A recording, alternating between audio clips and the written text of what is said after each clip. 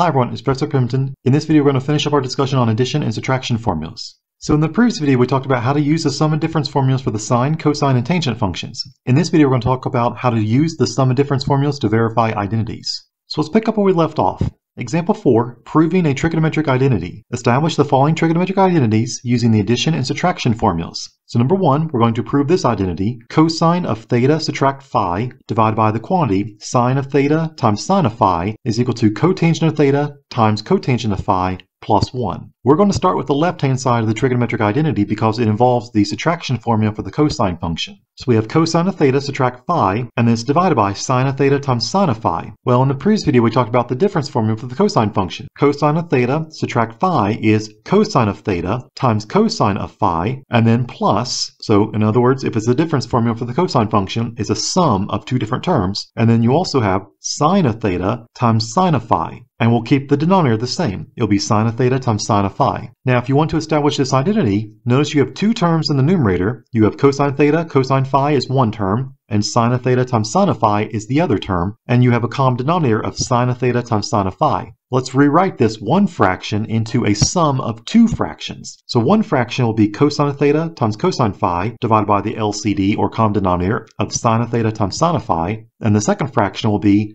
sine of theta times sine of phi divided by sine of theta times sine of phi. So one fraction we have is cosine theta, cosine phi, divided by sine theta, sine phi. Well, that can be simplified. We have cosine theta divided by sine theta, that's one fraction. And we have cosine phi divided by sine phi, that can be another fraction that's being multiplied together, because you multiply the numerators and you multiply the denominators separately. And now notice, in this other fraction, you have sine of theta, sine of phi, divided by sine of theta, sine of phi, that's just 1 because you're multiplying in the numerator and also multiplying in the denominator. And so you have cosine of theta divided by sine of theta. We know that's cotangent of theta. Cosine of phi times sine of phi, that's cotangent of phi. And then the other term, or the other fraction, was just 1. So we have cotangent theta, cotangent phi, and then plus 1. That's exactly what we were trying to establish on the right-hand side of the trigonometric identity. So we've proved the trigonometric identity. We start with the left-hand side of the identity, and we use a series of algebra steps and trigonometric identities to actually establish the right-hand side of the trigonometric identity. Number two, let's establish this identity. Sine of x plus y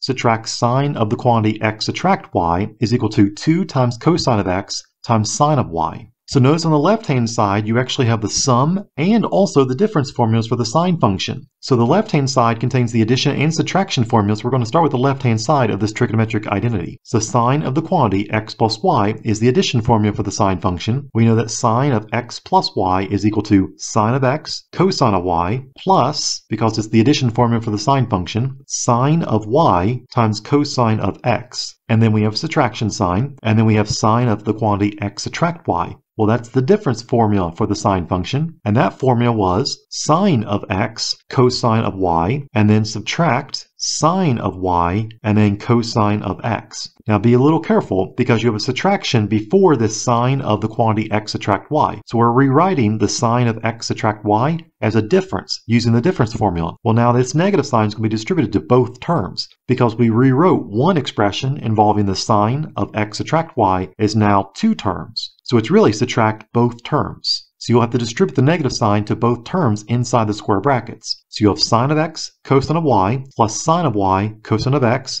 subtract sine of x cosine of y, and then plus sine of y times cosine of x. Now notice you have sine of x and cosine of y, and you also have negative sine of x cosine of y after you distribute the negative sign through the square brackets. That will just give you zero after you collect like terms. And then the other two terms you have are sine of y cosine of x, and sine of y, cosine of x. They're identical. They're like terms. So you actually have two of them. So sine of y, cosine of x, plus sine of y, cosine of x, that's two sine of y, cosine of x. And that's exactly the right-hand side of the trigonometric identity. So this proves the trigonometric identity. Sine of the quantity x plus y, subtract sine of the quantity x subtract y, using the addition and subtraction formulas for the sine function, is equivalent to 2 times sine of y times cosine of x.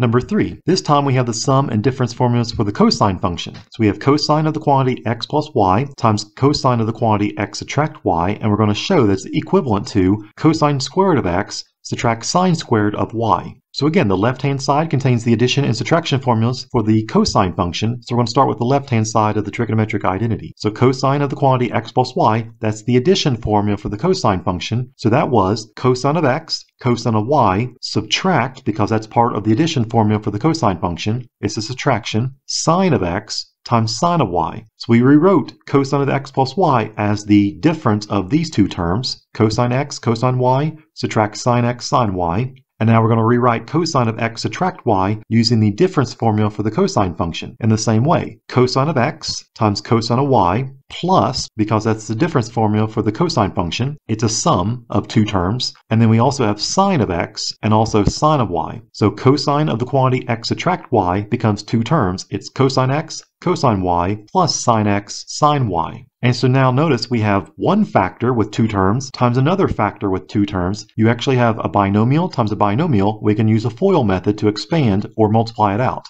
Cosine x times cosine y times cosine x times cosine y, the first two terms multiplied together will give you cosine squared of x times cosine squared of y because cosine x times cosine x gives you cosine squared of x, and cosine y times cosine y gives you cosine squared of y. And now if you multiply the outside two terms, cosine x times cosine y times sine x sine y is sine x cosine x sine y cosine y. And the middle two terms, or the inside two terms, sine of x times sine of y times cosine x cosine y, and make sure you have the negative sign, will be negative sine of x, sine of y, cosine of x, cosine of y. And if you multiply the last two terms, negative sine of x, sine of y, times sine of x, sine of y, that would be negative sine of x times sine of x, that's negative sine squared of x. Sine of y times sine of y is sine squared of y. So notice, the middle two terms after we use the FOIL method are actually opposites of one another. We have sine of x, cosine x, sine y, cosine y, and then we also have subtract sine x, sine y, cosine x, cosine y. They're identical, just opposite signs. So they actually cancel out because that just adds to zero, and so we only have two terms left. We have cosine squared of x, cosine squared of y, and then subtract sine squared of x and sine squared of y. Well, keep in mind what we're trying to show. We're trying to show that this left-hand side of the identity will actually simplify to cosine squared squared of x, subtract sine squared of y. They're actually equivalent. So notice we're trying to get sine squared of y involved, and we only have sine squared of y in the second term, but it's being multiplied by sine squared of x. Since cosine squared of y is not in the right-hand side of this trigonometric identity, we need to replace it. So cosine squared of y, let's replace it using the Pythagorean identity.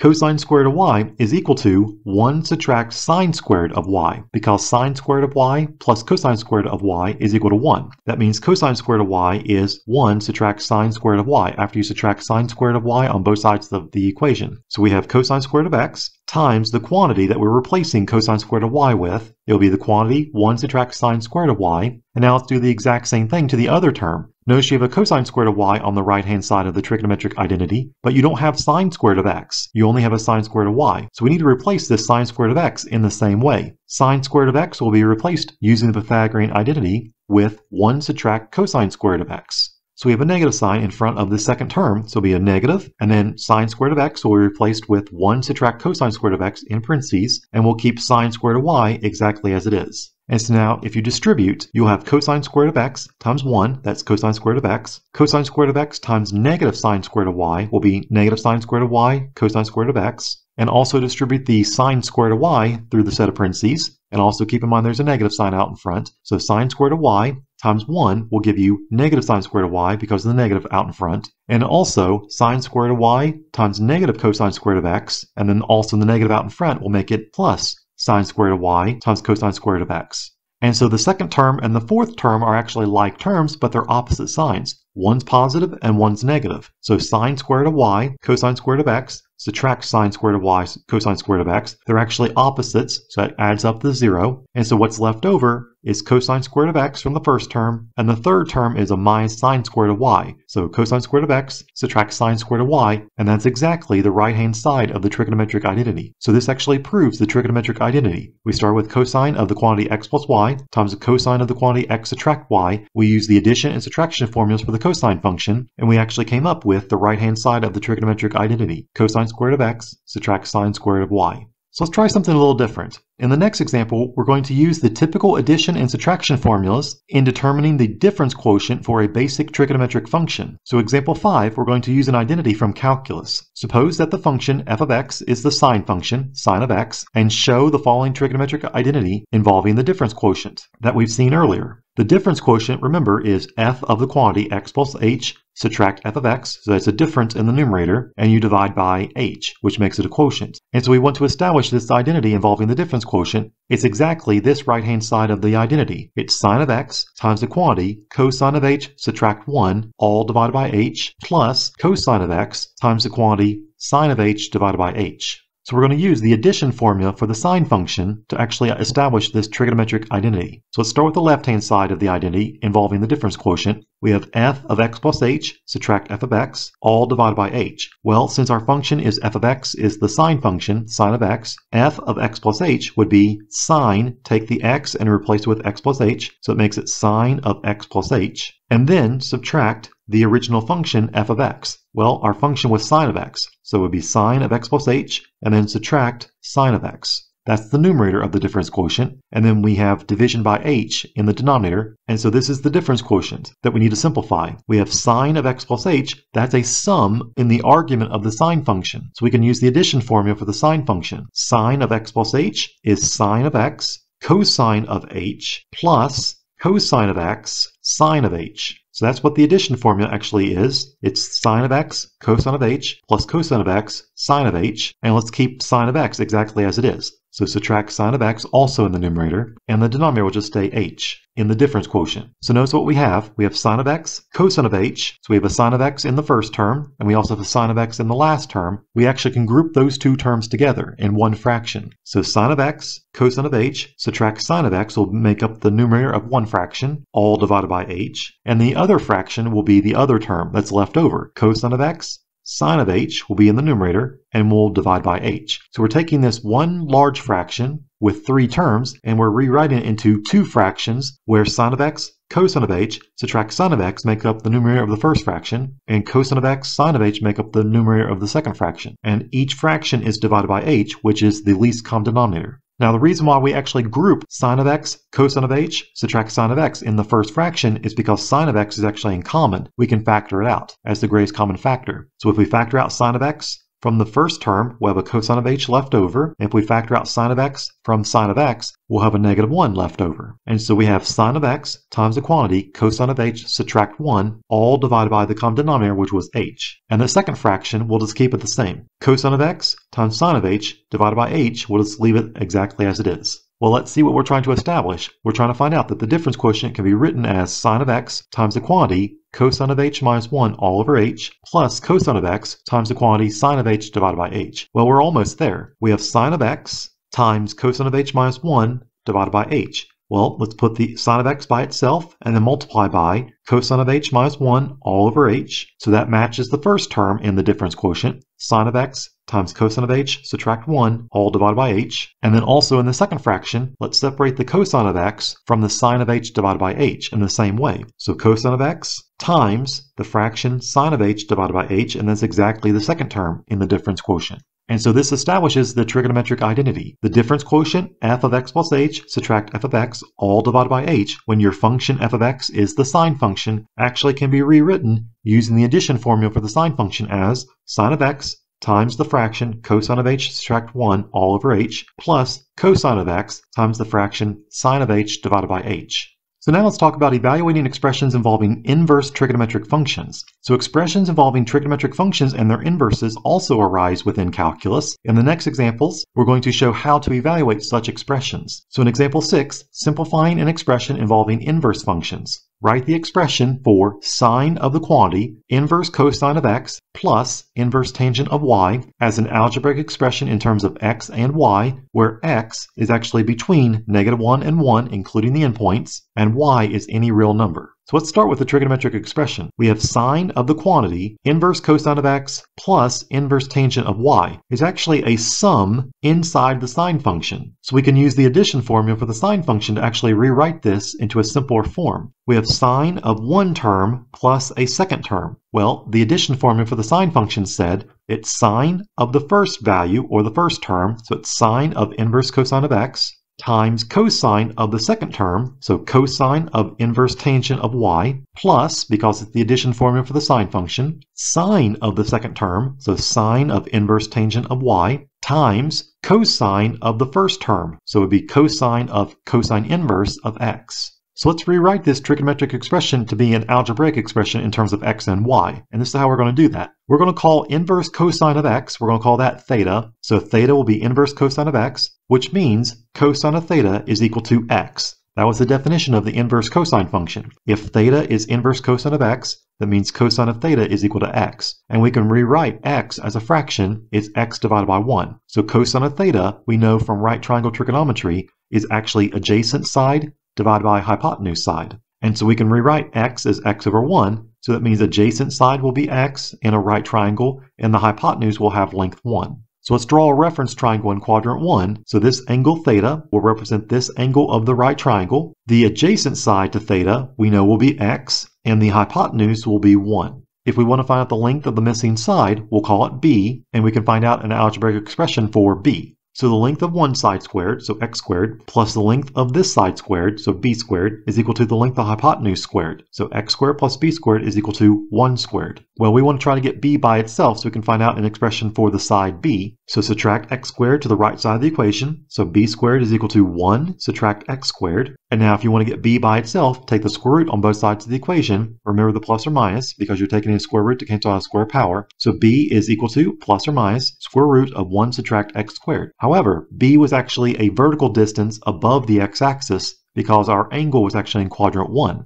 And so b will be a positive value. It's positive square root 1 subtract x squared. So that's the side that's opposite the angle theta in this reference triangle. So let's go back to the original problem. We want to find out what is sine of inverse cosine of x. Well, if we let theta be inverse cosine of x, that means we're trying to find out what is sine of theta. So sine of inverse cosine of x becomes sine of theta. Well, with right triangle trigonometry, we know that sine of an angle theta is the opposite side divided by the length of the hypotenuse. Well, in terms of this angle theta that we have in quadrant 1, our opposite side we just found out was the square root of 1 subtract x squared. That was a side b, which was opposite angle theta, and the hypotenuse had length 1 in this right triangle. And so the sine of theta will be square root 1 subtract x squared, all divided by 1, or it just simplifies to be square root 1 subtract x squared. So our first algebraic expression for the sine of inverse cosine of x is actually equal to square root of 1 subtract x squared. And also notice, if we have inverse cosine of x equal theta, then we would have cosine of theta for this last expression. Cosine of cosine inverse of x actually becomes cosine of theta. Well, cosine of theta was just x. So cosine of cosine inverse of x just becomes x. So it takes care of two trigonometric expressions. We found out an expression for sine of cosine inverse of x, and also an expression for cosine of cosine inverse of x. Well, we have two expressions left to replace to be an algebraic expression. We want to find out what is cosine of inverse tangent of y, and also sine of inverse tangent of y. Well, each of them involve inverse tangent of y. So let's do a similar thing. Let's call theta inverse tangent of y this time. So if theta is inverse tangent of y, that means tangent of theta is equal to y by the definition of the inverse function, and we can rewrite y as a fraction, it's y divided by 1. And now we're going to draw a right triangle, a reference triangle in quadrant 1 that's going to represent this angle theta. The opposite side we know will be y because tangent of theta is opposite divided by adjacent. So opposite side will be y and the adjacent side will be 1 of this right triangle. Well, again, we have a missing side that we need to find. If we have the length of one side, that will be 1 squared, and we have the length of the other side, which is y squared, we can find out the length of hypotenuse, which we'll call c. So it'll be c squared. So 1 squared plus y squared equals c squared, using the Pythagorean theorem. And so we want to find out what is c. Well, since c squared is already by itself, c squared was 1 plus y squared, now you can take the square root on both sides to cancel out the square power on the c, and so c is plus or minus square root of the right side of the equation, which was 1 plus y squared. Well, c was representing the length of the hypotenuse. that's always going to be positive. So c will be square root of 1 plus y squared. So that's the length of the hypotenuse. Square root 1 plus y squared is c. Well, now let's go back to the original problem. We want to find out what is cosine of inverse tangent of y. Well, we called inverse tangent of y theta. So cosine of theta, where our reference triangle is actually in quadrant 1, would be cosine of inverse tangent of y, which will become cosine of theta. We know that in terms of this angle theta, cosine is the adjacent side divided by hypotenuse. Well, the adjacent side was 1, so that's the numerator, and the hypotenuse we just found out was the square root of 1 plus y squared. And so cosine of theta, or cosine of inverse tangent of y, is 1 divided by square root 1 plus y squared. And using this reference triangle again, we can find out what is sine of inverse tangent of y. Inverse tangent of y we call theta, and so sine of theta in terms of this reference triangle, where theta was actually in quadrant 1, we know that the sine function in terms of right triangle trigonometry is opposite divided by hypotenuse. Well, the opposite side of theta was y, so that's the numerator, and the hypotenuse we just found out earlier was square root of 1 plus y squared. So sine of theta, or sine of inverse tangent of y, is y divided by square root 1 plus y squared.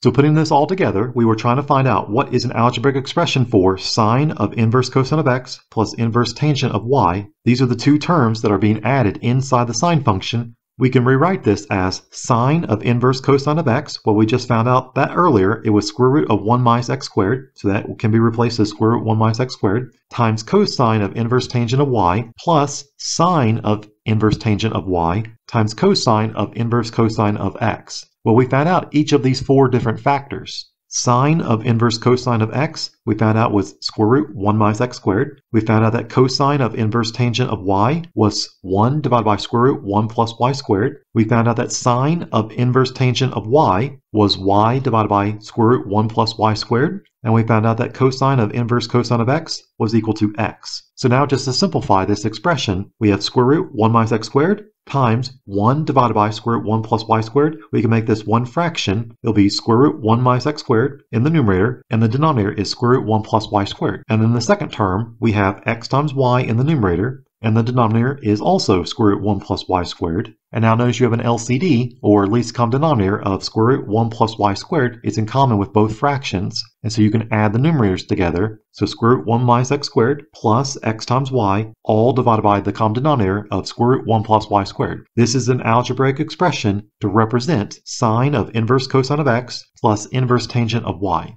So occasionally, when an application appears that includes a right triangle, we may think that solving is a matter of applying the Pythagorean theorem. That might be partially true, but it depends on what type of problem you're actually being asked and what information is given as we're going to encounter in the next example. So let's finish up with example 7, investigating a guy wire problem. For a climbing wall, a guy wire R is attached 47 feet high on a vertical pole Added support is provided by another guy wire, S, attached 40 feet above the ground on the same pole. If the wires are attached to the ground 50 feet from the pole, find the angle alpha between the wires. So notice that we have two cables attached to the same pole. We have angle alpha as the angle between the two cables. One cable is represented as S and the other cable is represented as R and we're trying to find out what is the angle alpha that actually is the angle between these two cables formed between cable S and cable R. Each of the cables are attached to the ground, which is 50 feet from the pole. Guy wire R is attached 47 feet high on the vertical pole, and guy wire S is attached 40 feet from the ground on the pole. So even though we're trying to find out the angle alpha that's formed between guy wires R and S, we need to find out what is this angle between guy wire R and the ground. So we're going to call that angle beta. So the adjacent side and the opposite sides are known for the angles beta and also the angle beta subtract alpha, which is the angle that we have here after you subtract off the angle alpha. It would be this angle beta subtract alpha. So notice we actually have two right triangles, a right triangle for the angle beta and a right triangle for the angle beta minus alpha. So we're going to use right triangle trigonometry. Notice that we have the opposite side of beta and also the opposite side of beta subtract alpha, the two different heights of the guy wires, R and S, 47 feet and 40 feet, and we also have the adjacent side. Both guy wires are attached to the ground 50 feet from the pole. So we can use the tangent function. The tangent function of the angle beta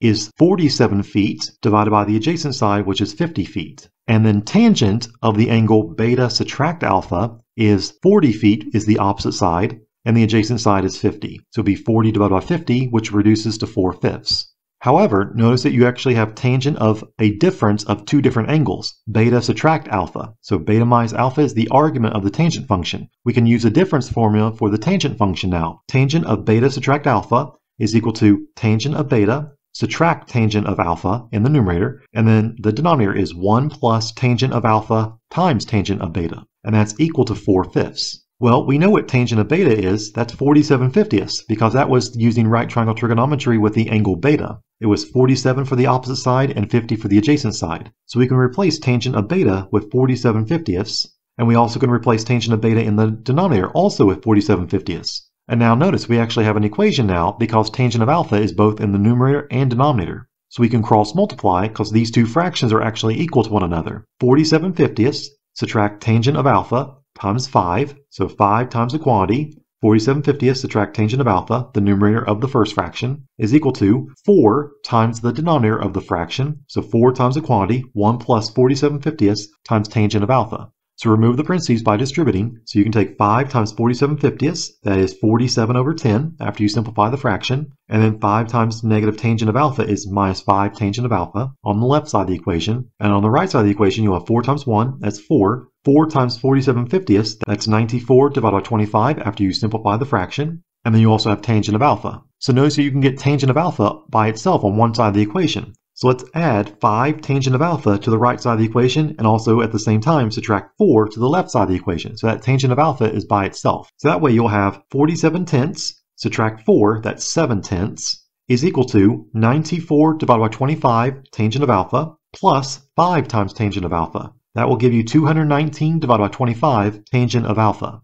And now get tangent alpha by itself, divide both sides of the equation by 219 divided by 25. And so tangent of alpha will be 7 tenths divided by 219 divided by 25. And if you have two fractions divided by one another, you can multiply by the reciprocal of the fraction in the denominator. So 7 tenths times the reciprocal, 25 divided by 219, which gives you 35 divided by 438. And so tangent of alpha is 35 divided by 438, we want to find out what is the angle alpha, so we want to get alpha by itself. You need to undo the tangent function. So take the inverse tangent function on both sides of the equation. And so inverse tangent of tangent of alpha, the inverse tangent and tangent will undo each other because they're inverses of each other. And you'll just get alpha by itself. But then you also have to take the inverse tangent function on the right side of the equation. So inverse tangent of 35 divided by 438, which will be inverse tangent of 35 divided by 438 Make sure your calculator is in degree mode because you want to find out the angle in degrees for this application problem. And this is approximately 4.569 degrees, or if you're around the two decimal places, 4.57 degrees. That's the angle between the two guy wires, R and S. It's about a 4.57 degree angle. So this finishes our video on the sum and difference formulas. We talked about how to use the sum and difference formulas to verify identities. If you have any questions about any examples in this video, please let me know. Or if you have any questions while you work on the homework for this section, please let me know that as well. And I'll see you in the next video when we talk about the double angle formulas.